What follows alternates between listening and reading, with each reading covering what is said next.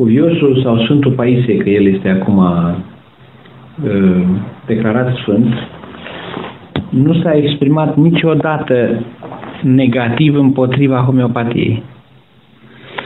El are cinci volume editate de ucenicii lui, în care nu apare cuvântul homeopatie.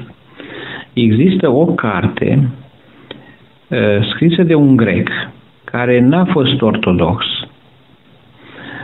Am auzit că ar fi fost uh, yogin și că ar fi avut și șoarecare suferințe așa la viața lui și el a scris o carte de vorbă cu Părintele Paisie um, unde Părintele Paisie spune că atunci când se fac tratamente homeopatice, nu spune de homeopatie nici că e bună, nici că e rea. Spune că trebuie să fim atenți. Lucru cu care sunt și eu de acord. Că eu practic metoda și spun și eu la fel, trebuie să fim atenți pentru că e o metodă ceva mai grea decât medicația alopată oficială, decât medicina clasică care am învățat-o noi în facultate. E o metodă mai laborioasă, mai grea, necesită anamneză mai, mai mare, mai lungă, analize semiologice. Asta este prima idee care trebuie să-i spuneți Doamnei. A doua, homeopatia folosește numai, numai remedii naturale, nu folosește medicamente chimice. Al treilea lucru, folosește numai medicamente în diluție infinitezimală. Deci, într-o diluție atât de mare încât n-au cum să facă rău, pentru că nu există efecte ponderale asupra corpului omenesc, ci sunt numai efecte de, care determină o reacție din partea corpului. Nu sunt remedii care să acționeze prin greutatea lor, prin doza lor. Așa. În al treilea rând, al patrulea rând, Metoda se bazează pe un principiu numit similia similibus curantur, ceea ce, cu alte cuvinte, se traduce că așa tratăm cele asemenea prin cele asemenea sau cui pe cui se scoate. În ce sens? Remediul homeopatic care îl dăm noi bolnavului provoacă o reacție în corpul lui un fel de mini, mini, mini boală, ca să-i spunem între ghilimele, că nu e o boală, sunt niște reacții. Aceste reacții determină corpul să se vindece, să reacționeze la aceste mini, mini doze și el să-și provoace să-și caute și să-și obțină singur vindecarea ca o metodă reactivă a corpului acest principiu similia, similibus, vindecarea celor asemenea prin asemenea, se regăsește în Sfânta Scriptură și în religia ortodoxă.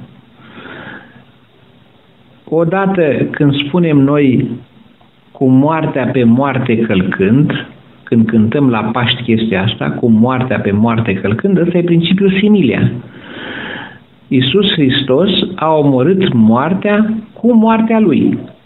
E principiul similia, tipic, cui pe cui se scoate, cu alte cuvinte, pe înțelesul tuturor. Când uh, Moise a înălțat șarpele în pustie, spune în Vechiul Testament, cred că în, în, în Exod sau în, în Exod, da, când Moise a înălțat șarpele în pustie, cei care priveau la șarpe nu mureau prin mușcătura șarpelui.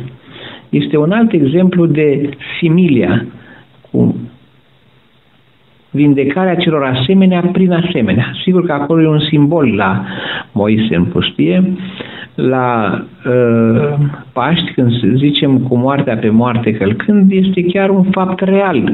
Hristos a murit pe cruce și a învins moartea. Da. După aceea, mai spuneți Doamne, că eu am tratat în viața mea de medic pe cei mai mari duhovnici din România. Am tratat mitropoliți, am tratat episcopi, am tratat profesori mari de teologie. Nu ar fi fost toți uh, neinspirați, uh, inculți, necunoscători, să se lase tratați homeopatic. Ei confundă, există niște detractori ai homeopatiei care provin în majoritatea lor din fabricile de medicamente sau sunt influențați de fabricile de medicamente care sunt foarte supărați pe, nu numai pe homeopatie, și pe fitoterapie, și pe homeopatie, și pe multe discipline uh, din astea blânde, pentru că foarte mulți clienți au migrat de la medicina chimicalilor de sinteză spre aceste uh, metode. Și atunci scot cărți, influențează, fac uh, legi, eu, legi, mai spun. De exemplu, medicamentele homeopate și cele din plante nu sunt rambursate de Casa de Asigurări, nicăieri în lume. Trebuie să-și le plătească bolnavul. În schimb, dincolo, orice medicament, oricât, de, de, de, uh, oricât ar fi el de uh, scump, de exemplu, medicamentele pentru cancer sunt 30.000 de euro o cură, de exemplu, dar sunt plătite toate de casă.